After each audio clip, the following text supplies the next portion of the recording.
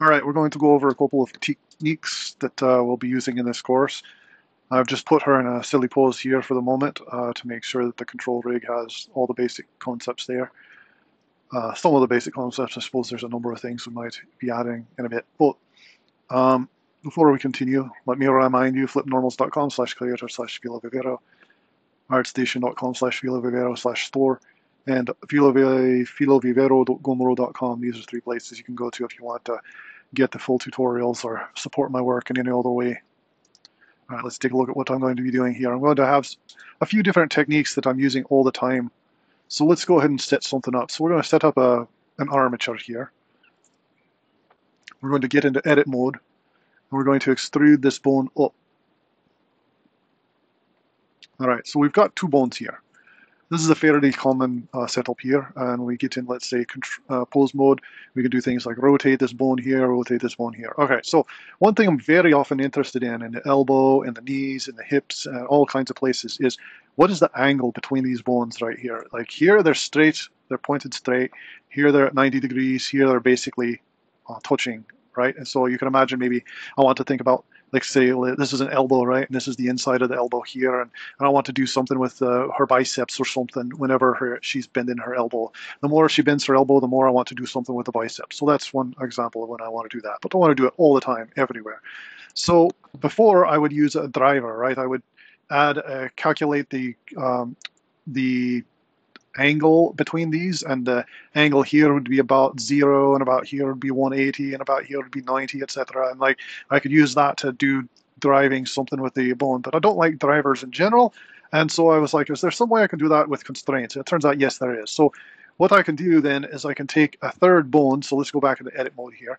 Let's create another bone from here and let's extrude that up to here. So now we've got um, three bones. And I suppose I need to view this in some other way. So let's do wire so we can see through the uh, bones to other bones and kind of see what's going on here. All right, then we'll get back into, I suppose, shall we view this as, for now, I think we're going to go ahead and leave this as an octahedral uh, display, but uh, for the next section, I'll also be doing bendy bones. All right, so we've got this big bone here that basically goes from this one to this one. All right, what is the purpose of that one? So let's say this one down here, can I click it? There we go. Let's say this one is called uh, upper arm. And let's say this one down here is called forearm. Then this big bone here is going to be called basically MCH, how much bent, let's see. And what I want to do then is I want to take this bone uh, and make it a child of this other bone here. All right, so let's grab that parent. Uh,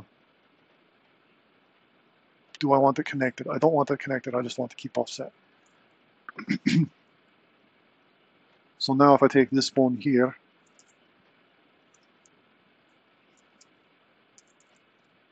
and move it, then this child bone moves along for the ride. This bone is already a child because it's attached to the bone. All right, so what I want to do then is take this bone here and make this bone stretch to it. And so there's uh, this little bone driver, bone constraint properties here. So I don't actually need to do that. I can do this here. And I'm going to do a stretch to constraint. And so what happens now is if I grab this bone here and move it, uh, I thought I had this as a stretch to constraint. I wanted to go to the tail. Uh, there we go, and reset. Okay, so now if I grab this bone here, you see it stretches to it. So what I can do now is I can say, all right, well, if the bone is its full um, scale, then probably the joint that it corresponds to is not bent at all. If it's about, let's say, 50% scale, then that means the bone is uh, bent about 90 degrees, and if it's down to basically 0.1 scale here, then the bone, the joint is bent uh, completely.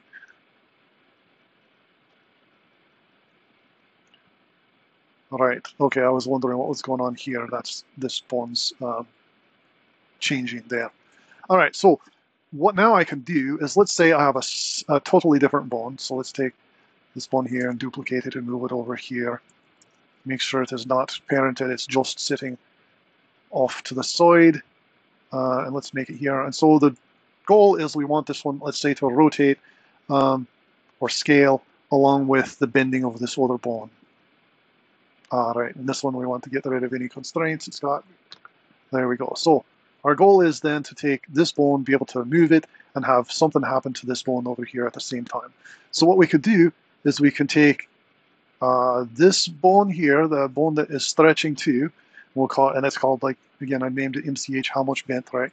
And I can pick this other bone that I want something to happen to it, and I can add a transformation. This transformation lets me map from something to something. So what I want to do is map from the scale, and it's going to be the Y scale here, right? So Y scale from, let's say, 0.1 to 1 point uh, to 2, let's say.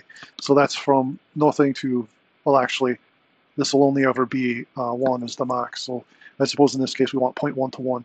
Uh, other times you might have this stretching to such that it can lengthen, uh, but for this case it can never lengthen, it can only shorten. So it's going to go from 0.1 to 1 on the scale. And what we want to do is map that to something. Let's say, let's map it to the location. That's a typical thing, right? And so I want to say its y-axis, so I want to move up and down as the other one bends. So we'll want to, let's say, location, point five, uh, 0.5, let's actually do negative 0.5 to 0.5. So now if I take this bone, uh, what did I do wrong here? Probably I want that in local space. There we go. So uh, because that's going from 0.1 to 1, and it is 1, then it's going to be moving. So we really want that to be something like 0.1 and uh, we don't want it to move at all. So we want it only to move on its y-axis as this other one turns. So now if we, as you see, as we turn this, the other bone is moving up. It's not moving very much, so we can, I suppose, make that 0.5. Uh, then it'll move a little bit more. So now you can see it doesn't matter which direction I bend this uh, joint, that other bone moves. And so basically what I'm doing then is using this bone here, its scale, to decide how much this other one is going to move. And I can do other things like rotate, right? So maybe I want it to rotate on its y-axis from uh, 90 degrees to, uh, let actually I suppose, right, 0 to 90. Uh, we can't tell because well, we should actually be seeing that moving. Why is that not moving?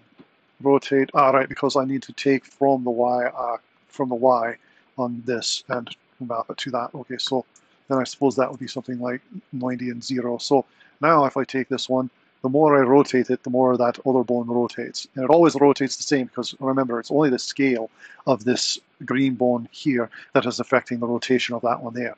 And so it'll only ever rotate to the right, it'll only ever rotate a certain amount, and it'll and that's that gives you some control for this over here, just depending on how much a joint is turned. So we'll be doing that on her ankles. So we want her calves to change. We'll be doing that on her. Uh, we'll be doing that on her fingers. We'll be doing that on her um, neck, I believe, in a couple of places. Uh, we'll be doing that in her glutes in a number of places uh, all around our hips. I think there's going to be four different bones that do that. So this is the first construct we've got going here. So that is all good. We, have got that. But the, the other thing that we're always doing is um, having one thing be a child of another thing and not move as much. So let's take and get rid of the constraint on that. Let's actually get rid of this bone entirely. So now we'll have three bones here. And uh, this bone here, let's make it a child of this right here keep offset. All right, so if we go into um, pose mode, if we turn this, there's a parent-child relationship. This is the parent, this is the child, this is the child of that. So as this one moves, this one moves the same. What if we want this one to move like the others, but not quite as much? That's a very another very common thing. And so what I'll commonly do here is I'll take, say, this bone here, get back in edit mode, duplicate it, right? And so let's say that bone there is called um, MCH uh, hold, uh, hold, let's call it um, move bone. And then the other bone that's going to be right underneath it is going to be called, uh, let's call it, say, def move bone.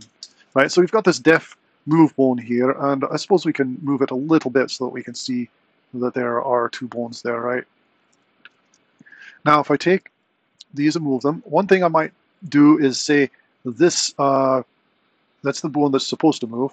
This is going to be our mechanism bone that holds. This is, we want to make a parent, uh, we want parented to something that is a parent to this. In this armature, we don't have such a thing, so what I'm going to do is I'm just going to clear the parent entirely.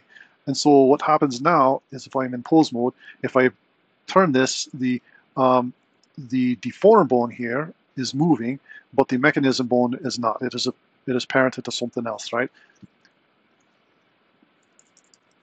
So what I end up wanting to do is grab the um, the hold bone, MCH hold move bone, and then the bone that actually moves, and I want to copy its location and scale, or excuse me, location and rotation usually. Scale I usually don't want to limit, in this case I'm going to limit all three. Uh, no, I think I'll just do like I normally do. So I'll do a copy rotation, a copy location, and a copy rotation. And so if we go and look, we'll see there's these two constraints on here.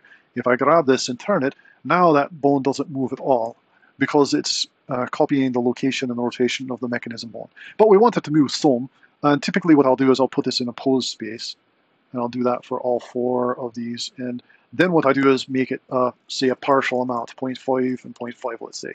Now if I turn this, it'll move along, but it won't move as much. So this is something I'll do very commonly with the scapula, with hips, with all kinds of places. I'll be uh, needing a bone to move along with the parent, but not quite as much. And so here, uh, and so you can also say, well, I wanted to rotate along with the other one just about as much, let's say 0.9, but I only wanted to move just barely, let's say, so we could well, uh, move barely as copy the location a lot, copy uh, rotate a lot is also copy a lot. So well, what I'll do is, uh, what is that copying the rotation? All right, it's copying the rotation of this. So we actually wanted to not copy the rotation much because we wanted to rotate a lot along with the parent. Let's say 0.2. Okay, so it's barely going to move. Um, that's actually maybe a little bit too little. Let's make it 0.8 here. Um, and then it's going to uh, rotate quite a lot. So here it's basically rotating along almost completely the same as the parent, but it's barely moving. It's a very common construct I'll do. And so uh, and so yeah, you'll see me setting up something like this quite a lot. When I do set up something like this, usually I have the whole thing in a bendy bone view. And so instead of octahedral, we're going to be seeing B-bone.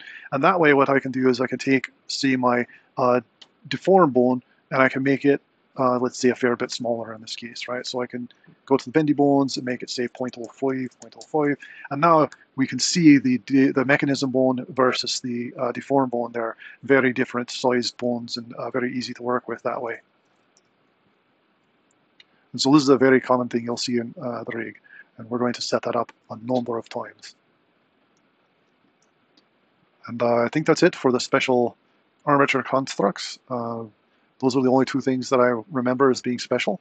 Uh, so everything else is going to be normal stretch to and damp track and, and copy location, copy rotation, and, uh, and uh, all those kinds of things.